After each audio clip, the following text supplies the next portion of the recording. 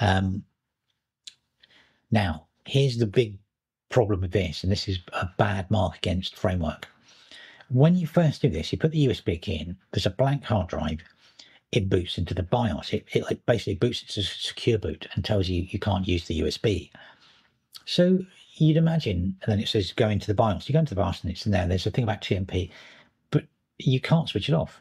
So I actually only found this, and maybe they have got it written somewhere on their website in a forum because it wasn't just me that was having the same problem. And it, by the way, this is a standard Omarchy install, absolutely no surprises.